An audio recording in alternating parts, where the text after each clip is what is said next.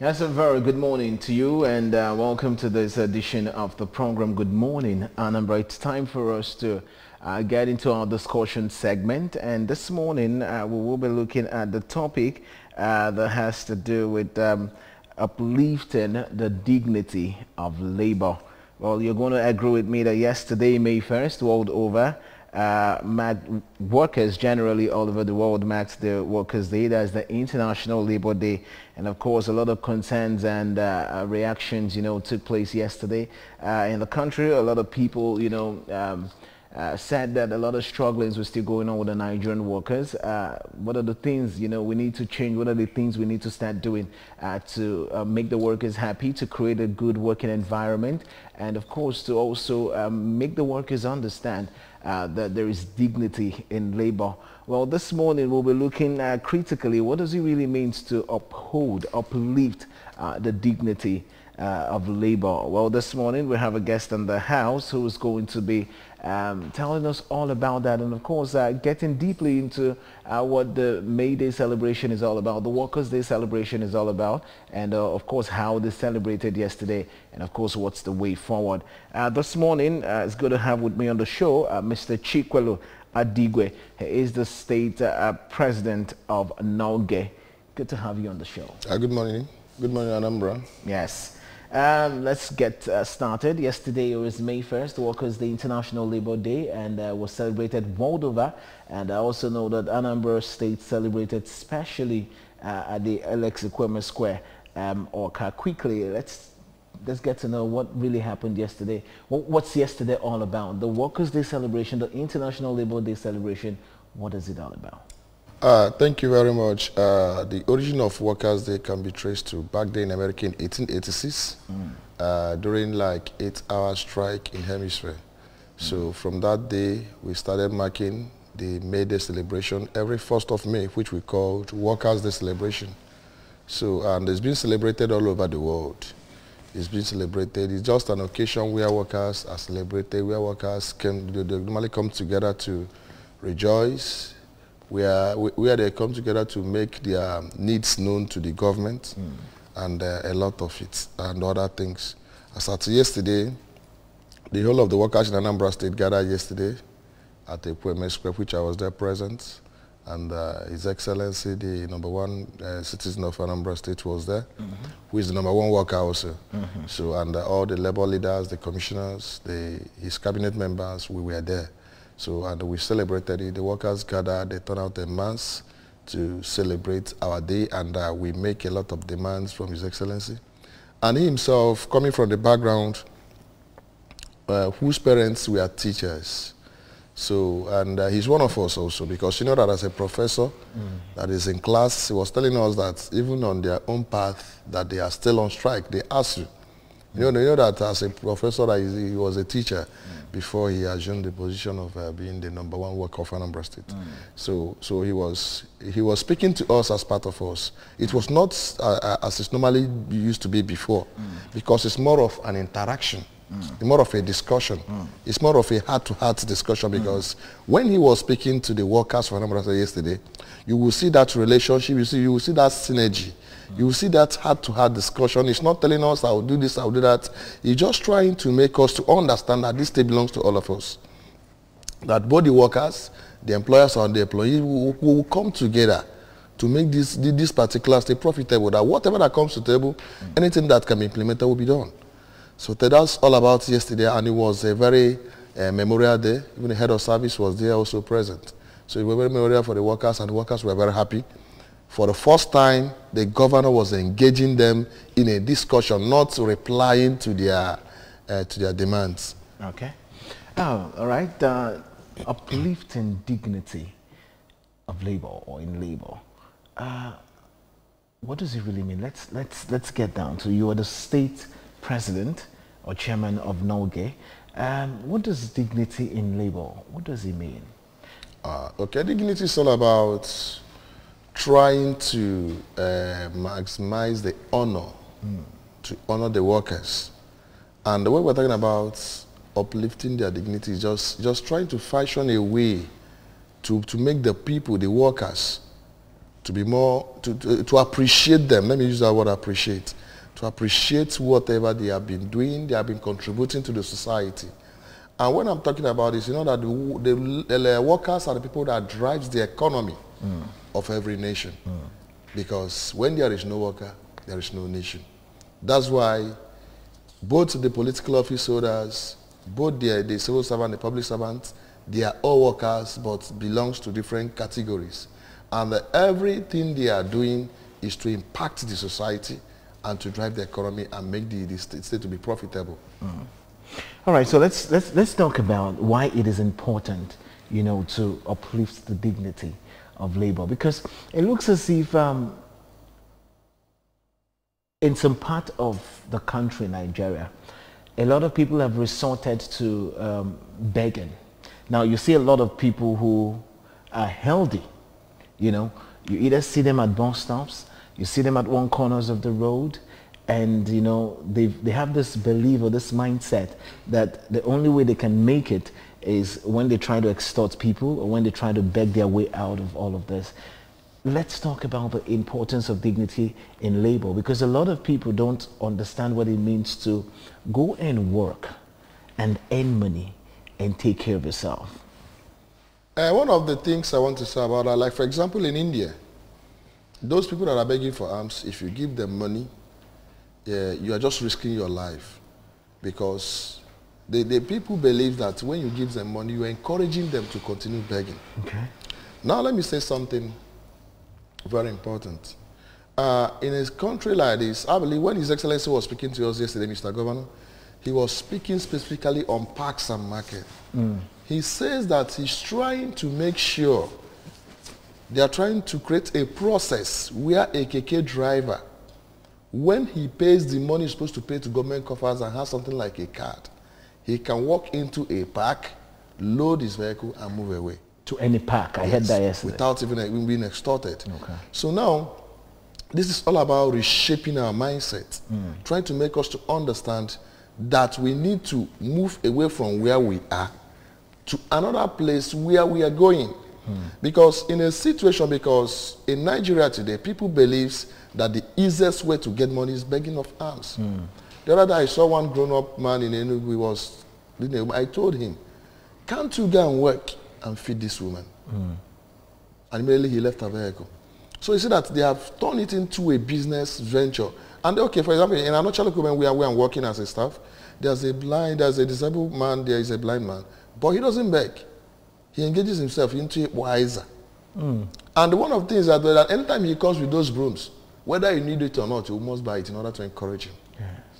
So I believe that the first and foremost is that it's just reshaping the mindset of we, the Nigerians. How do we go about doing that? Because that's my next question. How do we protect the dignity in labor? How do we protect it? How do we go about, you know, changing the mindset? Because this, I'm telling you now, I've experienced. I was in Lagos a few weeks ago, and the morning I traveled to Lagos, I met a young boy, a young healthy boy, and you know, dressed so fine now, I know there are issues and situations where, you know, some things happen and you just need money or you need help to get you to one place or the other. I'm not disputing that. But when it becomes a norm, you know, amongst our young people, we ask the question, where are we headed? So you talked about the mindset. How do we go about this, you know, to tell the people and let them know that, see, there is dignity in labor?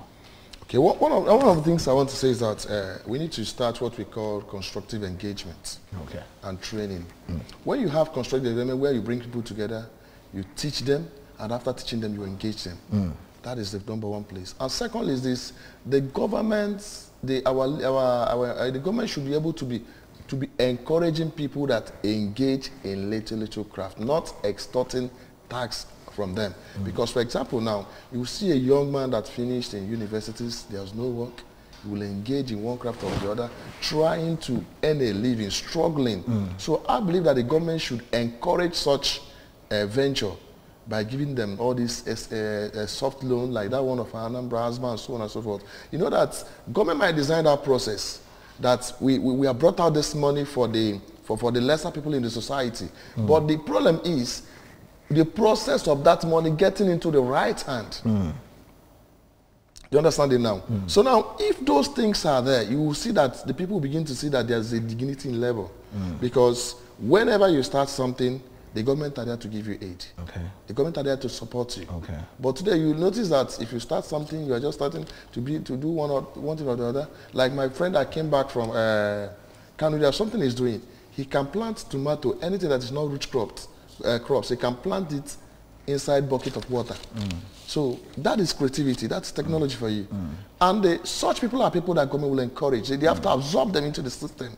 They have to bring them to, uh, uh, closer because now, now everybody's moving in agriculture and we don't have enough land to farm. So he told me that just a bucket of water, uh, he will just plant tomatoes and everything. The thing will, will, will germinate even without sand. Mm. So you see, but these are people that government need to encourage. But you notice that when somebody like that starts such business, instead of encouraging them, mm. you'll be extorting them with tax, you'll be extorting them with rent and so on. That is another level of discouragement. There's no degree of level. And secondly is this.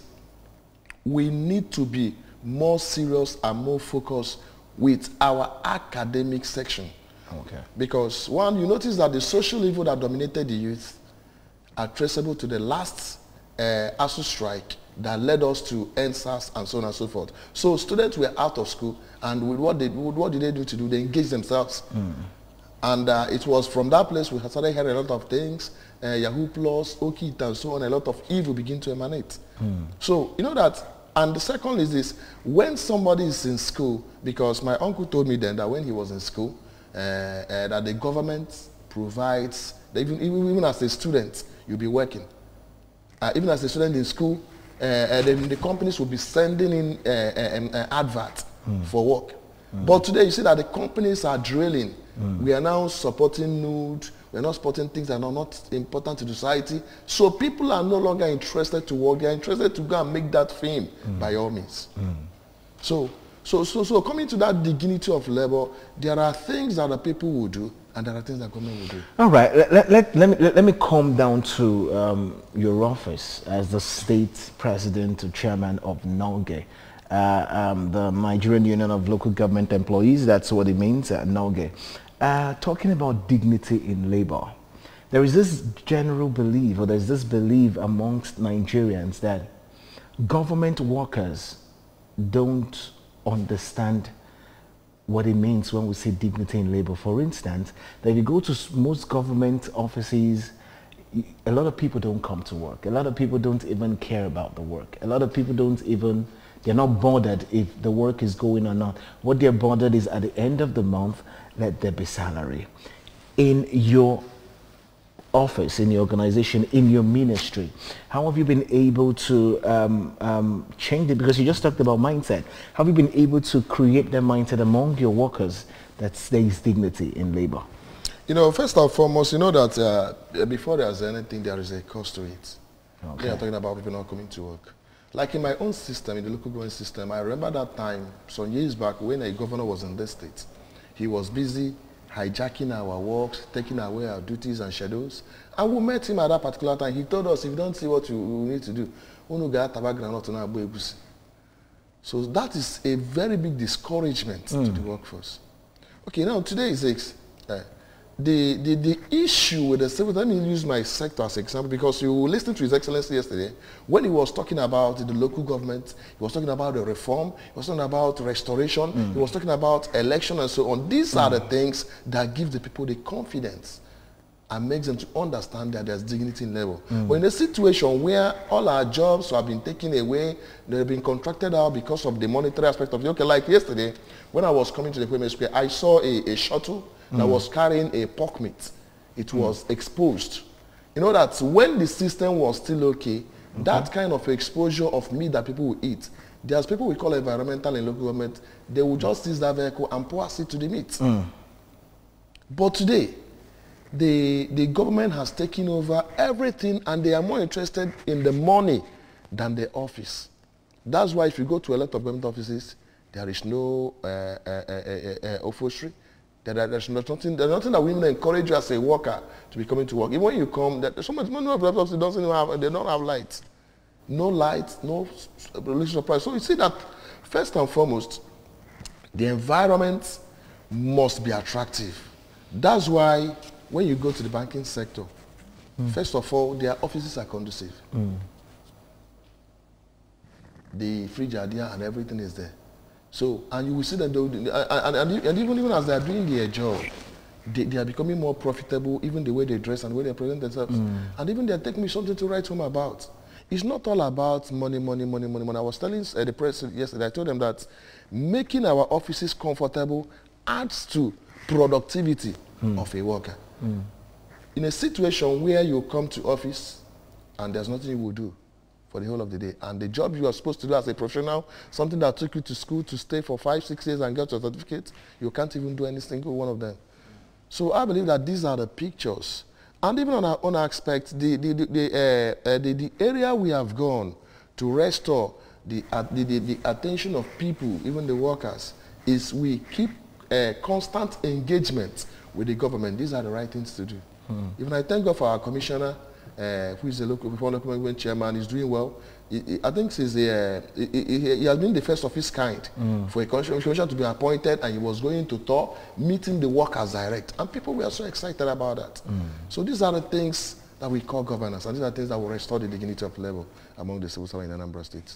All right. Well, if you're just joining us, this is Good Morning Anambra. And of course, uh, in commemoration of uh, the uh, International Labour Day, uh, celebrating Workers' Day, uh, we're actually discussing the topic, uplifting the dignity of labor. Well, you'll agree with me that um, it's important that one works and uh, one also finds that the work he or she is doing, there is dignity in it. But then again, we're looking holistically in Nigeria or Nigerian workers uh, do they really, you know, have that feeling that there is dignity in the work they do? Uh, we've been talking about it, and of course, Comrade Adigwe, uh, the state president of NULGE, is here, and he's been, you know, throwing more lights on that. If you want to join the discussion this morning, you are so free. Uh, the numbers is there on your screen. Uh, you can call the number, and of course, if there are questions you need to ask, we'll be here to, you know, um, get that sorted out. If there are contributions you need to make, we'll also be here uh, to hear what you have to say as regarding that. Back to you, um, um, Comrade Adigwe. Uh, still talking about uplifting the dignity of labor. The Nigerian workers, let's look at it holistically. Do they have that belief that there is dignity in labor? I asked that question because there was something you said about our youths. The strike issue, ASUU and its whole trouble, the youths, you know, getting themselves engaged in social vices that has not been, you know, uh, um, um, um, helpful to anybody. I, I, I, I was talking to someone one day and he told me um, that uh, a younger boy once told his uncle that uncle, life no hard. Now you, we will just won't live long. You know, he said that statement to the uncle and the uncle was asking, what do you mean by life no hard? Now me won't live long. He said, uncle, yes, now life no hard. Now you won't live long. You want to do things the right way. You want to do things in the good way. Where have our youths lost it? Because right now, when we talk about um, that spirit of get rich quick syndrome. It's also one of the reasons why a lot of youths and a lot of people don't believe that there is dignity in labor. Where do we go from here? Uh, one thing I want to tell you is that uh, with the situation we find ourselves in Nigeria, uh, people don't no longer have confidence in labor. Because, okay, I was discussing with somebody that I told him that uh, uh, your child you sent to school, you sent him to school and you are giving him pocket money. Small time that child will return with vehicle, bring a lot of money, building houses for you and so on, and you won't ask the child where you, did you get the money from. So you see that people have begun to see that they, they, that, that, that there's no dignity there's in labor because of the way workers have been treated. Mm. Secondly, is this, you will spend your money in school and you will pass through a lot of level of education to become a professor. And I myself, I might not even attend any academic qualification, but because I know one godfather or the other, I'll be appointed a chairman or appointed a councillor, appointed whatever. Mm. And uh, you will see yourself as a professor. Uh, I'll be earning bigger mm. than you. Mm. So where is the confidence? Where is the hope? Mm. So you see that that's why people will look, it at, uh, look at it like there's no need of spending time in school after spending time in school, I'll come out and be carrying five from one office to the other. And if eventually I get one employment or the other, I'll be, I will receive 40,000 naira at the end of the year. That's if it's up to. That's if it's up to, because it's, it's nothing. And then even as Saturday, Nigerian workers, we are living from hand to mouth. Okay, now for example, in parastatals and establishments, it's supposed to be like, like in ABS for example, we have MD and CEO. Mm. The civil servants that we employ should be allowed to be heading the, the ABS. Mm. But you will see that whenever there's an appointment, they will bring in somebody else from nowhere. Mm. So you see that the people that are working, they are struggling to, to, to even show the world what they have. Mm. There's no hope for them. Mm. Because they always know that whenever that they, they, they're supposed to climb to that position, somebody will be appointed to be there. Mm. And that is wrong. So I believe at this juncture, in order to dignify our labor to uplift it, mm. the government should look into appointing civil servants to be heading ministries, parastatals and agencies, even boards. All right, uh, uh, we'll come back to that because that's actually a very big issue which, um, uh, you know, has been on for a very long time and, you know, we don't know reason why it's like that. Uh, but stay with us because we want to go to the street now to hear from people uh, what they believe and feel about uplifting dignity in labor. We'll be right back. Stay with us. Workers are at the heart, at the core of government building or development so workers can contribute in so many ways. If they are dedicated to their service, that service alone at their respective offices is enough to boost government development. And that dedication is owing that work as if it is their own. Do it as if you are doing it unto God. Do it as if it is your own, uh, your own quota you are contributing to the community. If you work that way, uh, then you bring out the best in you, you contribute to the best in you. And when government appreciates them, workers will be very happy. When workers receive their salary, they will happy and work. And when they see that it's a government that has their interests at heart, pay them as at when due, those that are retire, uh, uh, on retirement, also pay them their retirement uh, benefits, then they, everybody will be happy. There are cases where people who are supposed to be doing their job are not necessarily found in their place of work. So punctuality to work uh, is one of the factors that will contribute to the development. Secondly, supporting the government in what they are doing, uh, in all the activities, contributing their own quota, and to see that everything works out well. Uh, you know, you can imagine, uh, even in this harsh economy, they strive with their salaries to do a lot of works both home and the society. But there is more to it. Even though what I'm being paid is little, but let that passion, that service be there. What can I So what they should give is what what they should give, not only what they will expect. So that at the, at the end of the day we can grow uh, the nation with the mindset of giving back instead of taking. Um, as a worker, we all have our various roles to play in our establishments or wherever uh, we work. Um, but mostly, manpower really matters in where we work. So we need we need to put in our best because as a worker, as an employ as an employee, if I don't um, if I don't have a good output of my job, then that means I'm not helping my company, I'm not helping my employer.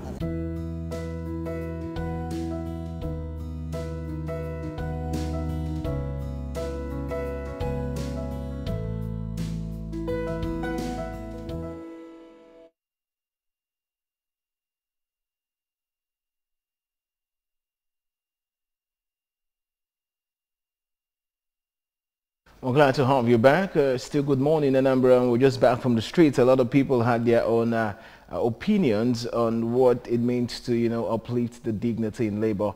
I will still have in the house Com Comrade Adigwe, who is the state uh, uh, chairman, president of NULGE.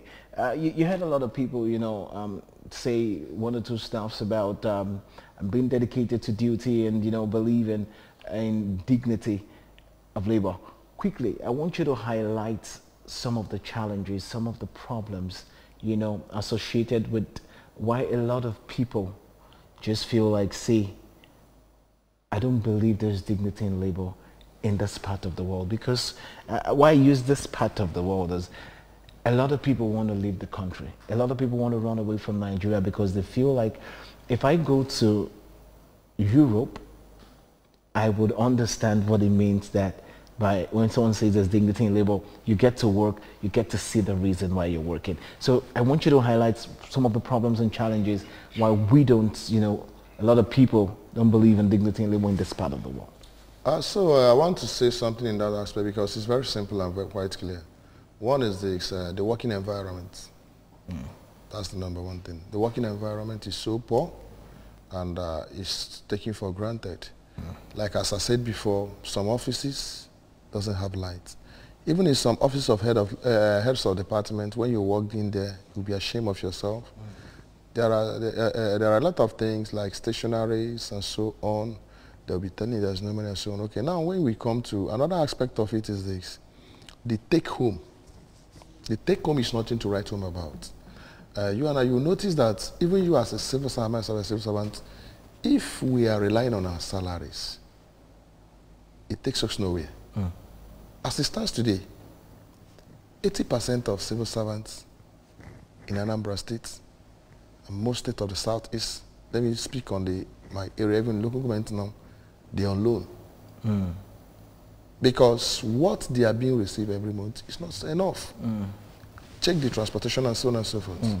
The housing scheme and so on and so forth. They, they don't get there because I remember then in Enugu, in old Anambra State, most of our people that has houses in Enugu, they got it through service service system. Mm. But those things are no longer there. As you're working, the government will taking your money. In no distant time, the house become yours. Mm. But today, the housing scheme is no longer there. Mm. The transportation system is no longer there. The roads are bad, no train, nothing, nothing, and so on and so forth. Mm. And, the, and, even, and even inflation is a contributing aspect of, of it also. Mm. So you see that those are the things that makes people believe there is no need there's no, there's no need to be of needing to be doing anything mm. because, because of those things are discouragement. Mm. Okay, for example, today in Anambra State, if you're a civil servant and you struggle to get a vehicle, a car that's taking you around, before you go, okay, as it stands today, before you move around, before one week or the other, that car will be in bad shape because of bad roads. Mm. So those are the things we need to look into. Those are things we need to do. And second, like for example, in Ghana, they have a commission in charge of salary and wages review, like we have in Nigeria. Okay. They don't wait for workers to go on strike. They don't wait for people to push. Every five years, there must be a review mm. and implementation as well. Mm. Because as day goes by, things are going up. That's why you see our people, we are leaving the system and we embrace either traveling abroad or even moving into the mainstream line of politics. Mm. And I believe that what will help the, the, the, the, the, uh, the, the, the working, um, the, the working sector of the Nigerian workers is, to be more attractive is making political office to be a part-time. Mm.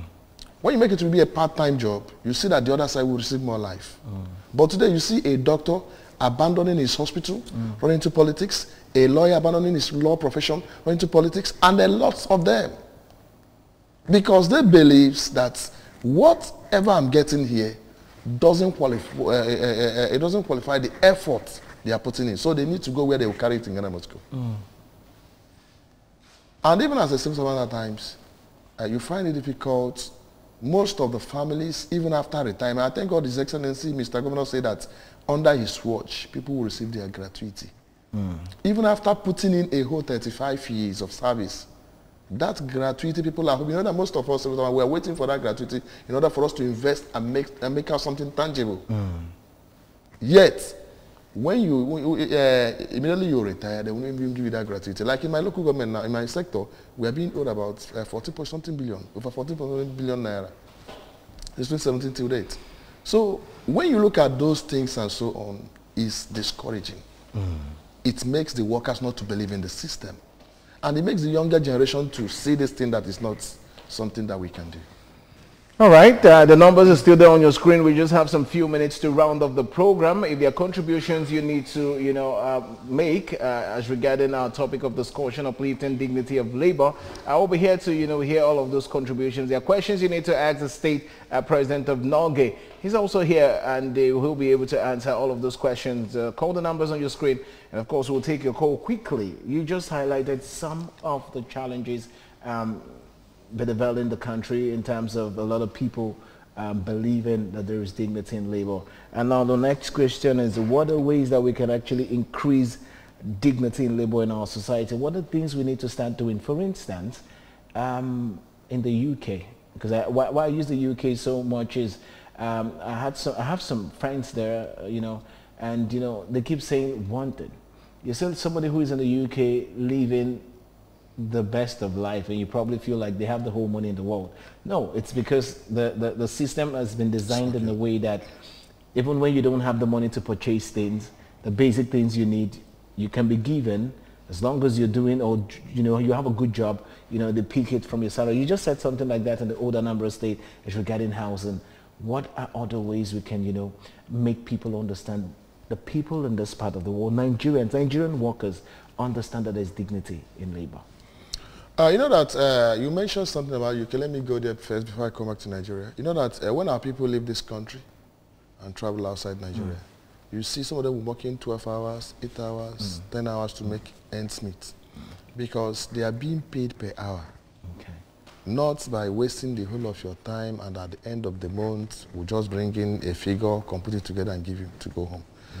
So now, uh, there are many ways we can make these things to work. Mm.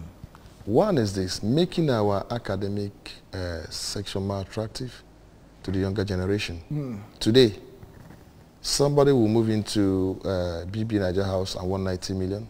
Somebody will do porn something at 100 million. But you see somebody that will go to mathematics competition, when he come out, they give him 10,000. The best graduating student in, in, in is no longer being celebrated. But you see a car company will package a car and go and give out to people that stayed in a house for three months without no concept, nothing, nothing, and they call it that they're modeling for the youth.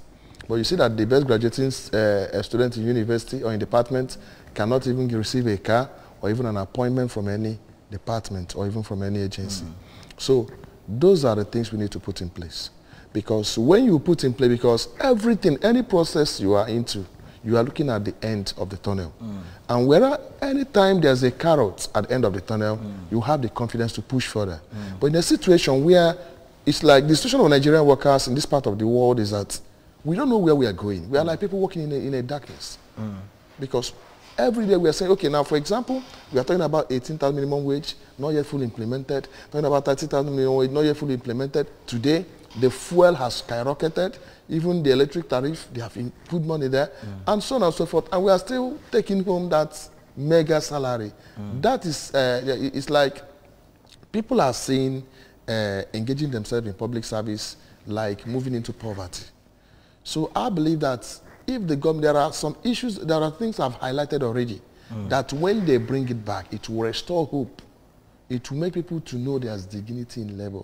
But in a situation where those things are not brought back, see, as of today, there is a normal belief, general norm, that that uh, uh, that public uh, service is not a, a job for young people, especially mm. the, the young men. Mm. We, are, we are looking at it as a, as a job for older women and so on and so mm. forth. But I know the time I started work, back then in 2002, 2001, mm. it was much attractive. Mm. It was from there I, I trained myself in school. But as the days comes by, instead of improving things, we are, we are even decreasing mm. and even decaying the more. Mm. Because one is this, instead of making that aspect profitable, we engage more in political appointment, thereby rubbishing the system. Mm. Okay, now for example, when in the past dispensation we have a lot of SSAs and EAs, and none of them goes home with nothing less than 150 to 100,000 every month. Mm. But you see a civil servant that has put in his or her, uh, uh, uh, or her time of more, of more, than, more than 10, 5 years. Mm. And the person's salary will not be up to 100,000. Mm. So in that aspect, what are you trying to tell us? You are trying to tell us that this system is not working. You, you are trying to tell us to jump the ship. Mm. And that's why that whenever people comes to the office, there will be no As in that motivation will not be there. That motivation will not be there. Even the, the this compound of ABS, since I was born, I don't think outside this structure and a few things they put here, there's not much improvement. Mm. This place is supposed to have staff quarters. Mm. So have a lot of things to make people that are working here comfortable. Because at times I know that you you guys work night shift mm. and so on and so forth. So you're now in a situation where you have your house here, you have your car and everything, the water is here running, and you have your apartment, you are living here. You see that you will improve. The you will see that belonging, so- yeah. So you, you have the sense of belonging that you are a stakeholder in what you're doing. This station where that everywhere will be bushy and so on and so forth. Even if you want to do one, it become white elephant project and so on and so forth. Though mm. there's nothing like, and you and, and, I must be sincere with you that most of your workers here they will be here just for temporary reason. They are looking for an opportunity to move out. Mm. So I'm going to ask you this question because the problems, the challenges you've highlighted and some of the solutions you've also, you know, said, do you see us getting to that point where those things you said, if they're being brought back, then there could be a brighter future. Do you see us getting to that point? Uh, I must With say, the way, with the situations of things right now. I must say something that uh, is just a 50-50 something. One is giving people appointments. Secondly is allowing them to work. That's why I was saying like allowing the people from the system to be heading the, the agency or parastatal ministry. Like for example now, if that, uh, let me, I will be using as ABS for example because we are here. If that as a staff Yeah. in ABS, you grew up from the system, Yeah, from the you, ranks. you know the challenges of the people, like this thousand and so on. Yeah. And you walk through the rank and file and became the MD of CEO. Mm. And you have free hand to work. You begin to implement those things. Mm. You begin to build staff quarters. Because you are trying to modernize the system that made you. Because you understand better. Yes, you understand the system. And secondly, this, I must say something. Secondly, this, eh, no matter how corrupt a civil servant is, mm. there is an atom of fear in him. Okay. No matter how corrupt a civil servant is, there are things he or she cannot do because he knows that his integrity is at stake, mm. the system is at stake, mm. and even his take or maybe or whatever is at stake. So I believe that the only thing that will make us to make a headway is when we begin to use people that are locals. I'm talking about the staff. Mm. That's why when Mr. Governor was saying something, he was saying that going to China to buy clothes, we are empowering the workers there. Mm. The same thing like importing somebody to head a ministry where people has grown from rank and file, from clerical officers and so on and so on, and come to top echelon in order to head. Because when you're, if you're, example, if you are heading the ABS now, nobody will tell you what to do. You know the problem and challenges. And when the money comes in, you will know how to implement it. Even as at now, this ABS is supposed to have uh, uh, they have to open roads, start everywhere, and so on and so forth. You have your uh, uh, uh, uh, the uh, event center also. Can you imagine that if this place have event center, I don't you know the kind of money you'll be generating? All this kind of tent. Because we have enough parking space here, and you have staff quarters and so on and so forth. Even in some, some establishment like this, when we have, if we are sincere enough, depending on the, the area of land, we can even have our school here for our children. So even if as a staff you have your child going to the school that belongs to establishment, it saves you some certain level of cost. So with those things in place, allow people to work freely, we'll be heading there. But in a situation where we are doing the other thing and saying the other thing at the same time, we're not going. All right, quickly as we round off, what would be your um, parting words to um, the Nigerian workers, to the youths, to people who um, don't say or don't believe that there is dignity in labor? I want to say that I want to, first of all, wish the Nigerian workers well. I want to implore them to keep working. We will not give up. We will get it right one day. And I want to also encourage them that as the election is coming around the corner, pick up your PVC. Let's go to the pool and get the right person because, like when Mr. Governor was saying yesterday, he told us that he cannot say what he cannot do, mm. but he says what he will do. Mm. He said that he doesn't know how to paint words. We are praying that we are going to, Nigerian workers will begin to elect such leaders that wants to correct the system, to take it away from where it was to where we are going. And I believe that with all these things, we are going somewhere. And I believe as workers on Anambra say we should not give up. The young generation should come up because we can't allow the system to die. I know that one day, one day it shall be well with us. Thank you. One day it shall be well with us. Thank you, thank you so much. Well, you've actually heard it from uh, the state uh, president of NULGE uh, himself. Well, he's actually said that um, let's keep keeping on regardless of what is going on. Uh, let's also believe that there's dignity in labor. Go out there, do your job, do it to the very best of your knowledge, and uh, remember that a lot of people are watching and of course, there is dignity in labor. So if you are one of those people who don't believe that there's dignity in labor from today, I begin to have that sense of belonging, begin to have that mindset that it is important that you do what is right. It is important that you do it when you ought to do it. And it's very important that you take your job seriously because there is dignity in labor. Thank you so much for joining us this morning on the show, Mr. Chikwelu Adigwe, the state president of NULGE so much. Thank you so much for joining Thank us. you very much. Thank you. All right, this is exactly where we're drawing the curtains on today's edition of the program. Good morning, Anambra. Tomorrow, we will be here again to bring to you the best of it all on television. I'm a Berry Ugonna. Good morning.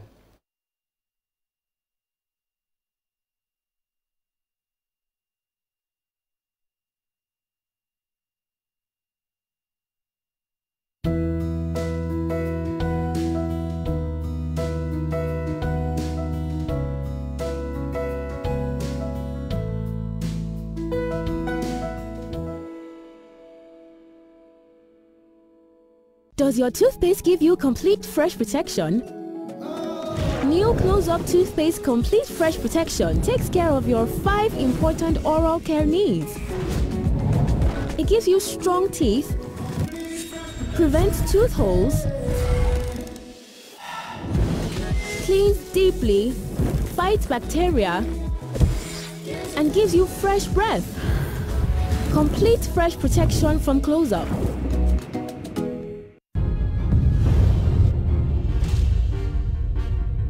This is ABS, Heartbeat of the East.